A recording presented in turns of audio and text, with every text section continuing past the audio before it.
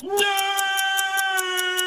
to the Know. I'm Ashley Jenkins. I'm Jon Risinger. Should you be able to repair your own video game console? You bought it, right? Do you have the right to crack it open and tinker around with what's inside? And if your console breaks, do you have the right to take it down the street to your good old local repair shop It's uh, that's been the there for years, you know, owned by a nice little elderly couple um, that they're not affiliated with Nintendo, Sony, or Microsoft? Yeah, so console makers, they're saying no to all those things. Oh. And they're now actively fighting against legislation in a number of states that would make it easier for gamers to fix their own consoles or send them to an independent repair shop as opposed to contacting Microsoft and having them send you the coffin and then you put your poor console in and you send it away and hope you get it back in a reasonable amount of time.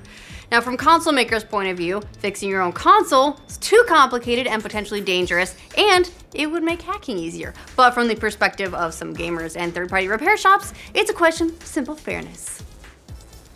What's the danger? They don't want you hacking them. That's what it comes Okay. down to. They don't want the- I, the, really, this comes down to modding consoles. Console makers don't want you to be able to mod them, and if you can open them up, then you might mod them. Like you could just trip and accidentally mod the whole thing. Yeah, that would totally happen with me. I'm a genius. So, this story, it's a story that raises a question that you might not like the answer to. How much of that gaming console do you actually own? And if something goes wrong, do you have options as far as who you send it to be repaired? So first off, let's ask a question. Well, we've already asked a lot of questions, but let's ask another one. What do you do when your system breaks? Swear a lot. You call a company. If you let's say again going back to Microsoft, you got the red ring of death. Yeah. On the the 360. What's the advice from the company? You say they say send it to us, we'll take care of it, or send it to one of our authorized repair shops. And sometimes the fix is free. Sometimes they might charge you for a refurbished device. But in any case, the message is clear. We, the console maker, are the only ones who can crack this thing open. And of course, there's always that famous warning if you open your console, you are voiding your warranty. Recently, though, Vice reports that some states are considering legislation that would require console manufacturers to sell replacement parts and tools to independent companies and consumers at the same price they're sold to authorized centers. The legislation would also require console makers to make diagnostic manuals public as well as software tools to fix consoles.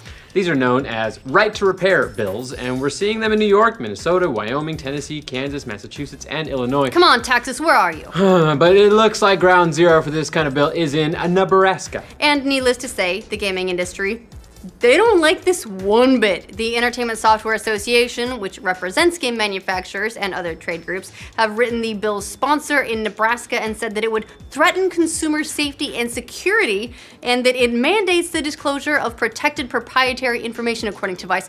Yeah, it's really endangering people's safety. They said safety again. What, what are these things? Are they trapped? Are they booby trapped? Is I there? think they're probably just worried about stupid consumers like opening it and then immediately sticking a fork in it. Yes, then in that case it would hurt. But if it's unplugged, you can stick a fork in a lot of parts of it and you'd be fine probably. We'll do that in the next video. Basically, manufacturers argue that repairing a console yourself is unsafe. Sure, yeah, because it causes, and it causes cybersecurity problems and it could lead to the stealing of intellectual property. Yeah, The safe thing is really a problem.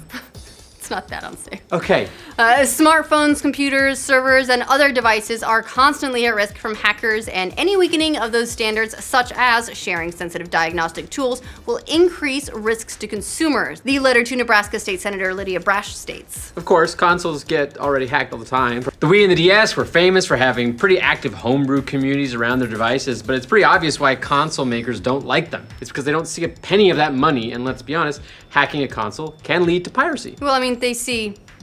They see the investment of the actual console, but Yeah. then they can't sell you a bunch of software because a lot of those people will just download it all for free. Yeah. Uh, but this is hardly an issue that's just about video game. Another huge company is also 100% against you fixing its devices Apple. Apple doesn't even have a network of authorized dealers to fix your busted iPhone like console makers do. Nope. You have to make a Genius Bar appointment and you wait for a service technician, and it's a miserable experience. Can confirm. Um, but the so-called right to repair bills would affect Apple products too, and possibly to a larger degree than video game companies, because unlike them, Apple has never authorized an independent company to fix its iPhones, even though a bunch of companies still do. Yeah, all those kiosks in the mall that will fix your screen and somehow manage to break your wireless connectivity at the same time. Yep. No, that hasn't happened to me personally. This issue doesn't just affect iPhones and video game consoles, though, it goes beyond that. Lots of products ranging from cars to refrigerators to cameras have all had issues where companies want to lock down replacement parts and diagnostic systems, basically making the same arguments that video game companies do. Yeah, they don't want you uh, hacking your refrigerator. That's bad. I'm gonna make it make coffee.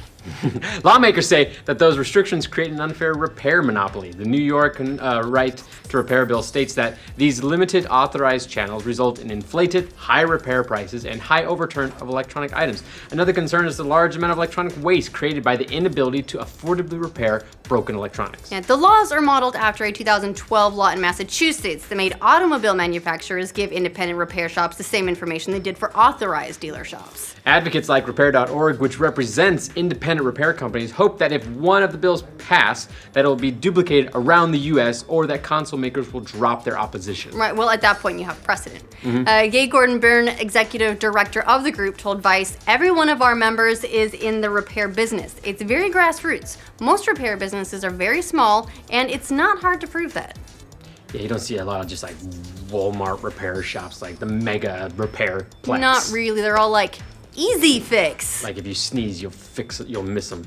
Um, Vice contacted Microsoft, Sony, and Apple for responses.